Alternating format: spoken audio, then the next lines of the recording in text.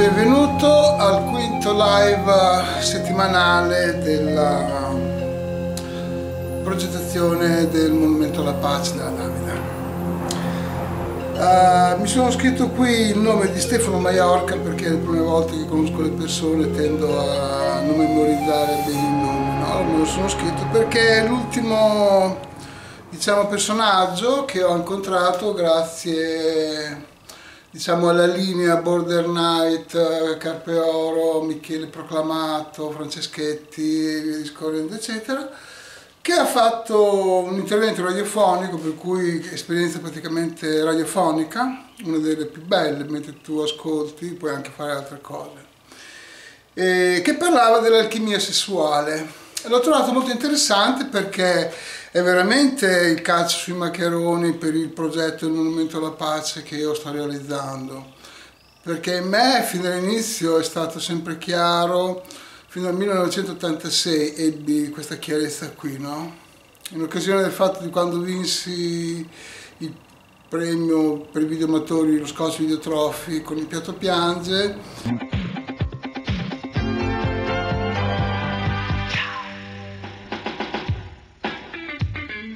Per restare nel tema del Made in Italy, vi presentiamo le immagini dei video vincitori della terza edizione dello Scotch Video Trophy, il concorso nazionale per video amatori promosso dalla 3M Italia insieme alla nostra rivista.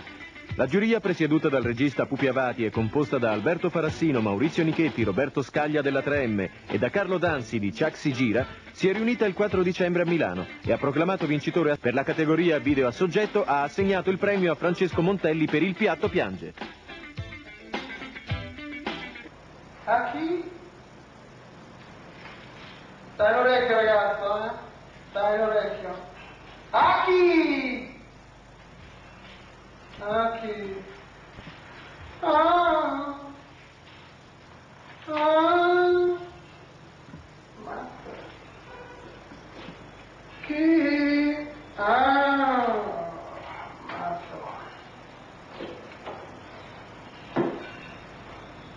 sorriderò se non a te a chi se tu tu non sei più qui ma hai fatto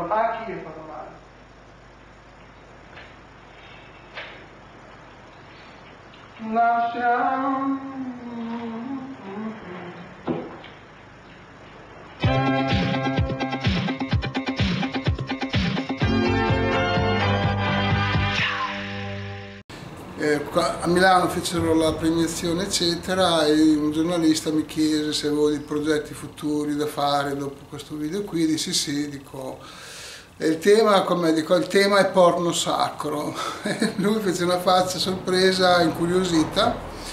E questa cosa io la dissi un po' come battuta, ma non tanto fino in fondo, no? um, era più che altro un sogno difficilmente realizzabile, invece questa è la, come dire, una delle tante scie o fili che accompagnano il um, monumento dedicato alla pace, perché in questa realizzazione del monumento, no? che una volta che sarà fatto poi si capirà con la presentazione, adesso non entro nel merito, uh, una volta fatto che lui esiste eccetera, uh, nel presentarlo io ho ho la necessità di realizzare dei film perché è la maniera più riassuntiva, più bella e che cattura l'attenzione nella maniera giusta, no? Nella maniera giusta, quando hai il desiderio di comunicare una tua esperienza che è minimo sincera e comunque aperta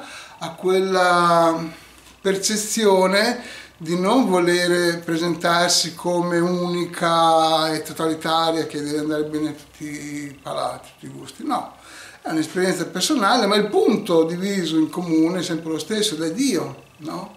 È la stessa cosa di cui proclamato sta facendo esperienza, che Giordano Bruno faceva esperienza a modo suo, che Carpe Oro sicuramente, come lui, tante persone come me, tante persone che neanche sono conosciute in questo momento hanno la loro esperienza individuale del loro Dio interiore.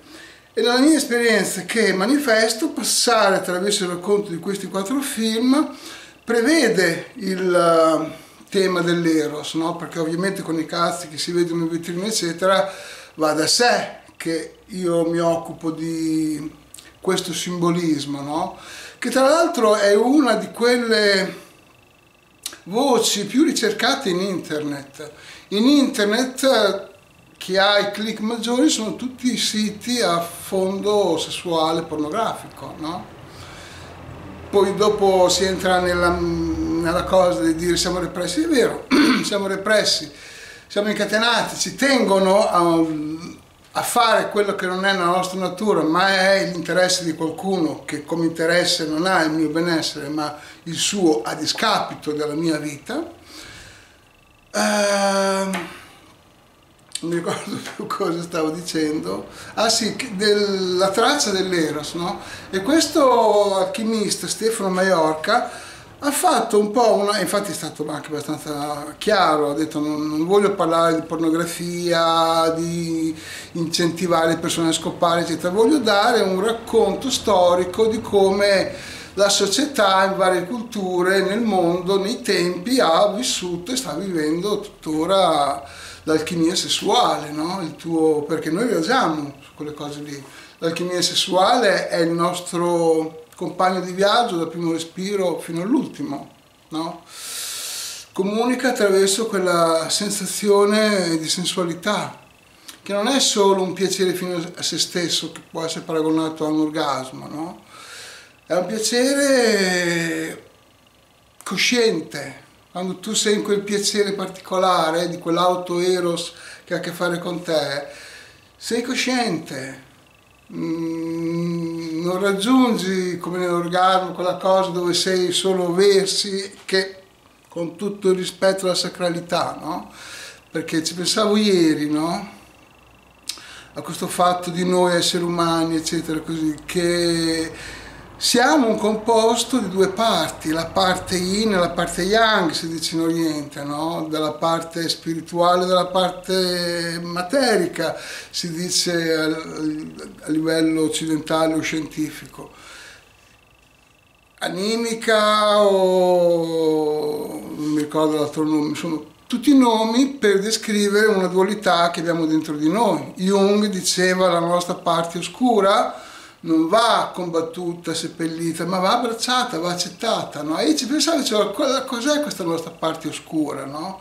questa nostra parte che mm, non vuole sapere della razionalità, no? che si comporta seguendo altri canoni. No? È quella parte di noi che in certi momenti ama arrivare in quel punto dove è semplicemente un verso che non, non, non, dice una parola, che non comunica un concetto, ma è un verso che esprime un sentimento di godimento, di gioco, di essere lì, eccetera. No? E allora per non dilungarmi troppo, perché questo live è comunque nella parentesi dell'Eros, anche se poi dopo parlerò un attimino anche di altre persone, e sono contento perché in questa piccola carrellata di questo video di Stefano Maiorca, che ho rivisto due volte, ho avuto la conferma che tutte le, eh, diciamo, le informazioni avute e le intuizioni avute messe insieme mi hanno fatto un quadro dove le cose che lui diceva combaciano, combaciano. E non è che sento che è finita lì, sento e so, per fortuna, che questo è un tema nel quale io entrerò, sto, sono già entrato e entrerò, dove io sono convinto che scoprirò, troverò, troverò la, la risposta che libera, libera in maniera soddisfacente per quello che è un essere umano che vive in questo mondo qui, eh, ma non per fare quello che mi pare in quel senso di libertà, ma per poter sentire come un essere umano libero da condizionamenti fa quello che fa perché è in linea, è a piombo, è in coscienza con quello che è la sua esperienza che sta avvenendo in questo mondo qui. Per cui, cos'è che diceva una cosa che volevo dire che adesso mi stava sfuggendo. Del sesso, ah sì, ha parlato delle, dei vari tipi di come, del sesso, del sesso anche, eh, ha parlato anche della prostituzione sacra, no? Che nei templi anticamente la prostituzione era una cosa molto diffusa, accettata, accettata mm, naturalmente, e in più c'era la prostituzione sacra nei templi, no? a seconda delle divinità, la prostituta, l'incasso che faceva veniva dato al tempio, eccetera. E la loro professione era, era una professione nobilitante, che ti inglobava no? nell'essere abbracciato alla divinità. No? Non eri fuori perché eri una peccatrice secondo una morale etica che è venuta su così, all'ultimo momento, no? ma di cui nessuno chiede l'autorità reale per poter venire a condizionarti la vita. E, e così, insomma, è così. E sono convinto di trovare delle belle risposte.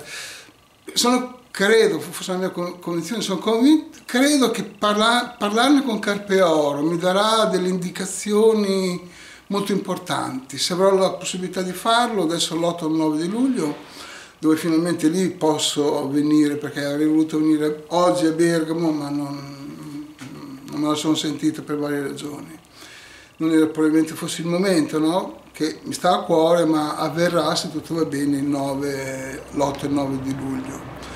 Prima di quell'incontro c'è un bellissimo viaggio che io andrò a fare insieme a Giuseppe Morando in Irlanda, a Belfast, il 23 di giugno torniamo, credo che sia il 21, il 21 mercoledì. Premier Avat fa un tour in Inghilterra e, io sono riuscito ad iscrivermi ad uno di questi eventi che vengono fatti pubblici dove Premeravat continua a propagare il suo messaggio di pace per le persone che possono essere interessate no? a sentirne parlare di più e ascoltare se è buona per lei, perché ci sono delle persone, io ho visto la mia esperienza, sono da quando ho 25 anni, sono molte persone che sono avvicinate alla conoscenza e mm, non gli ha fatto nessun beneficio per quella che era la loro sete, no? E per cui ci sta, no? Però ho visto anche tante altre persone avere un beneficio molto importante. Io ne sto traendo fin da allora un beneficio enorme e posso confermare che la promessa che lui mi fece, no? dicendomi dammi le redini del tuo cuore, le redini del tuo cuore, non della mente, le redini del tuo cuore e ti darò una pace che non finirà mai. E io posso testimoniare che è vero, è vero. E non solo ha mantenuto quella promessa di darmi una pace che non sarebbe finita mai, perché io mi rendo conto, guardando, sentendo la mia vita, che quella pace è sempre la stessa, ma la mia comprensione, il mio apprezzamento è qualcosa che è sempre in crescita. È lì che c'è la mia gioia rendermi conto, apprezzare quella vita che ho sempre avuto, che è sempre stata con me, ma mi è sempre sfuggita perché il mio, eh, come dire, il mio senso dei valori è stato fissato in un modo troppo confuso, troppo ingenuo, ho accettato dal gatto alla volpe dei consigli troppo ingenuamente, ma è finito quel tempo lì, quel tempo lì è finito, ora c'è il tempo della semina, mititura, raccolta, è il momento dove, dove è l'estate di un'esperienza. Mi rendo conto di essere entrato da ragazzo, da ragazzo, con tutta la mia confusione, eccetera, e di non avere mai avuto la disgrazia di allontanarmi dalla da quella pratica quotidiana di stare in contatto, che è la cosa che per Maravatta chiede a chiunque no? voglia ricevere la conoscenza. Una volta ricevute le tecniche della meditazione, che non sono quelle che fanno click, no? però, però, da lì si comincia, no? da lì si comincia. Mm, mm, che volevo dire? Non mi ricordo, fa niente, dai. La chiudo qui perché sono convinto di, di essermi allungato un po'. Per cui questa settimana finisce così con il racconto di questa esperienza dove saluto anche Alex Lupsa, un giovane ragazzo secondo me interessante che ha un bel viso eccetera, al quale vorrei affidare un ruolo nel film per Bacco. Adesso lui già, ha già letto la, il soggetto e per cui quando ritornerò dall'Inghilterra e avrò, comincerò a lavorare a quella cosa lì, per cui anche certi ruoli cominciano a prendere... Mi piace incontrare persone che secondo me possono essere persone giuste. Poi vorrei sentire anche Allegra Balbo perché dobbiamo sistemare una cosa a riguardo di Salomè, no? E ho la sensazione che parlando con lei fosse qualcosa di azzeccato, magico, può saltare fuori. E poi c'è il mio vicinato, la mia vicina, la botteghina Progetti Sartoriali, si trasferisce, va in centro a Ravenna in un negozio più grande, bello, eccetera, così che è pronto. E quando io ritornerò dall'Inghilterra lei, ecco è arrivata adesso. E io prenderò il suo posto fino alla fine dell'anno perché lo userò come set per, uh, come set per fare i lavori sta, sta passando di gente per fare i lavori che mi servono per la presentazione del Monumento alla Pace che è il 21 settembre 2017 io e la Giuse eh, siamo la ghianda fondamentalmente, eh, cercheremo di dare il nostro contributo e di presentare il nostro progetto e farlo decollare perché dopo tanti anni di preparazione e cura è giunto il momento di spiccare il volo e, e lasciarsi andare. Grazie e al prossimo live.